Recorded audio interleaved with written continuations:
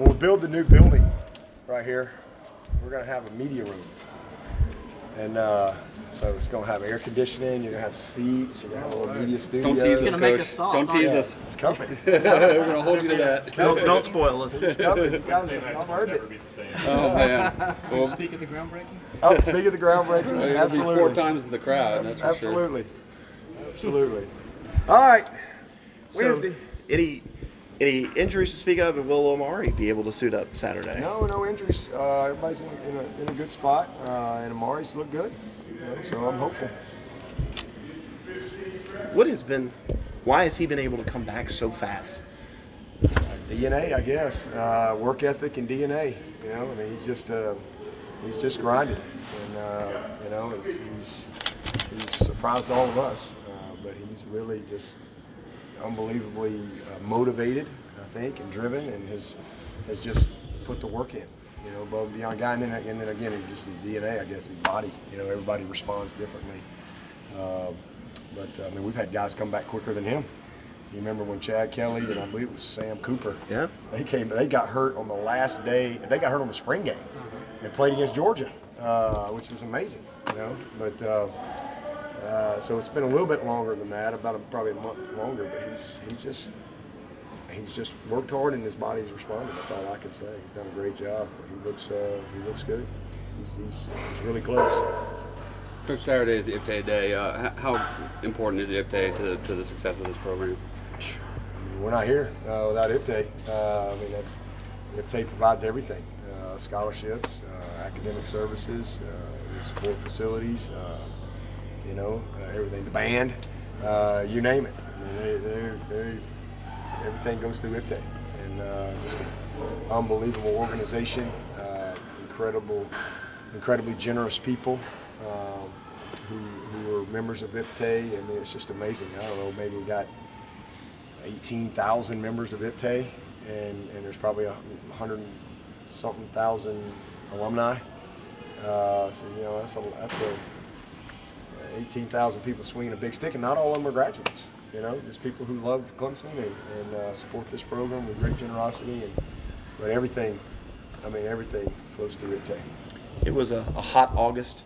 It's been a, a hot start to September. Is that helpful in a game that's 3:30, probably going to be over 100 degrees on the field Saturday? And then, how do you make sure guys are hydrated before they even go out there? Yeah, it's definitely helpful. I mean, you know, it, it, as opposed to being in uh, uh, Maine, you know, I assume it's cool in Maine. I don't really know. I've never been to Maine, but I'm assuming it's cooler in Maine.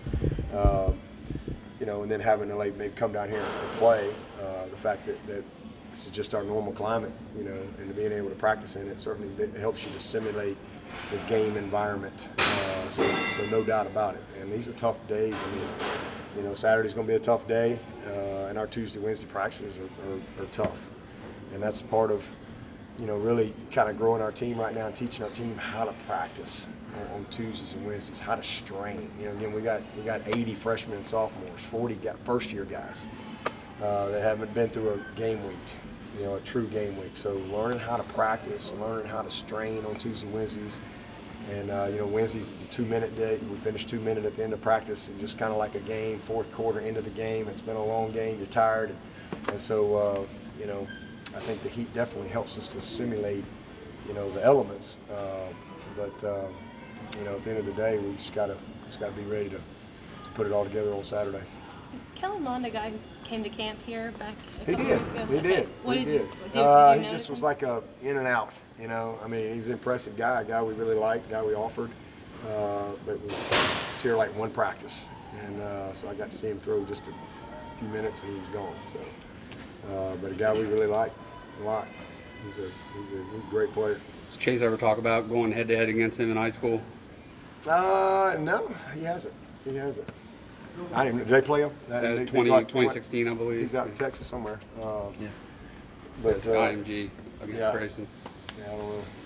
How much of a different player is Isaiah now than he was against, uh, against A&M a year ago? Simmons? Yeah. Oh, night and day. He's night and day. You know, last year he's a, um, you know, first year starter. You know, redshirt sophomore. You know, kind of learning what to do, and you know, just he just knows so much more. I mean, our whole secondary is different than we were this time last year. I mean, we played the first game against Furman, played the triple option, and then uh, then we go out there and, and played really good for about three and a half quarters, and then we just we just didn't execute well in that fourth quarter. Uh, and, and again, it's one thing for them to make competitive plays, but we we had some guys running wide open uh, where we, we bust some things. And so he's he's just a totally different guy, uh, just a much more knowledgeable, confident, consistent, down in and down out player.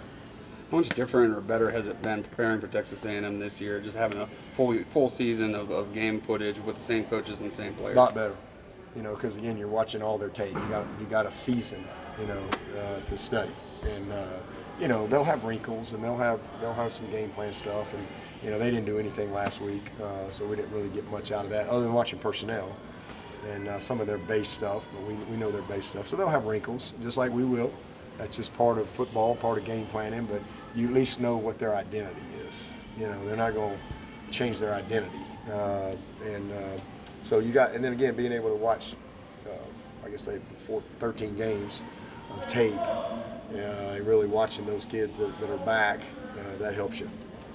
This is helpful for this young team to start out ACC opponent, SEC opponent week two, go on the road to Syracuse week three. That there's no gimmies in there. No, no, we got it. We're we're we're in a rocket ship, man. I mean, it's no, we're not we're not in a uh, air balloon, slowly lifting up here and enjoying the view. I mean, we're better buckle up. You know, here we go. Uh, so, but yeah, it's it's good. I mean, I, I think it's gonna it's gonna make us better. Uh, we're jumping in. We, we've got one conference game under our belt. And now we're getting into division play next week. Uh, so, I mean, this is a, one of the best teams in the country, and there ain't no doubt about that. I mean, I don't, I have no idea. I mean, we're they got us ranked number one, and I, I mean, who knows, who knows what we are? Uh, we haven't earned that. That's just what people have nominated us. Uh, so nobody really knows anything about any team right now, but I think we're one of the better teams in the country, and I think they're one of the better teams in the country. So it's a really good matchup early in the year. Not a lot of room for error. And again, you can lose these games. I mean, it, you know, it's not like. I mean, this is a hard game. I mean, you don't have. There's a few plays uh, can can decide this game, and so, but that's okay. It's okay. You know, you, you, you to me, I've always felt that way. You've got a chance to grow and get better when you expose yourself uh, to really, really good competition early in the season. And so that's what we've always done. That's how we built our team. We've won a bunch of them. We've lost a few uh, along the way too, but it makes us better. And whether we win the game, lose the game, this will make our team, this team, better uh, and give us an opportunity to grow, you know, for the rest of the season, for sure. Coach Fisher played uh, quarterback for Terry Bowden back at Samford. Has uh, has Terry told you any good Jimbo stories No. back in the day? No, no, yet. We've just been working. It seems like y'all have sort of become the hub a little bit for these teams on the coast that are dealing with these hurricanes. How did that come together with? Oh, Coastal coming yeah, in? Uh, you know, they just called Woody. Uh, I don't, I, I don't know who reached out to Woody. I assume one- maybe one of their ops guys or something. And uh, so, yeah, I mean, anytime we can help. Uh, I mean, we, we, we've got a nice facility, you know, so we're, we're fortunate and blessed, and so it's it's great to be able to help. You know, somebody. Um, you know, they're going to be. I think they're at the Embassy Suites there in Greenville for like two weeks. They, they're going to go play Kansas, and then they they're leaving part of the team there, and then coming back, still going to be there until I guess you know everything clears up or whatever. They they can go back, but you know that's tough on them, and, and uh, so we're just you know glad that we you know, can help them. And uh, had a chance to I went out. They were here late last night. I, I went out there about 10 o'clock last night. And, they visited with uh, with coach and several of their coaches, and, and uh, you know uh, they're excited about you know going out to Kansas and taking on the Jayhawks. Given how much time he missed with Davis Allen, how, how remarkable is it that he looks comfortable out there? Yeah, it's that's impressive. It's impressive because again, y'all heard me say many times that tight end position is one of the hardest ones, and usually what happens is guys get bogged down with just so much stuff that they play slow and they play tentative, and uh, and, and, and not as physical. And he just he mentally is sharp, and so that's a credit to him because you know that. And I always say that you know just because you're not repping doesn't mean you can't mentally rep. And so he's really worked hard when he wasn't physically getting any work to, to keep up and to study and to learn the system. And so when he was able to start taking the physical reps, he can line up, he can function, and then he's just just a natural football player. You know, he's a very physical kid. He's he's he's, he's going to help us. I'm, I'm I was as impressed with him as anybody in that game Saturday or Thursday. Uh, just his his the way he moves, and again the way he covers guys up.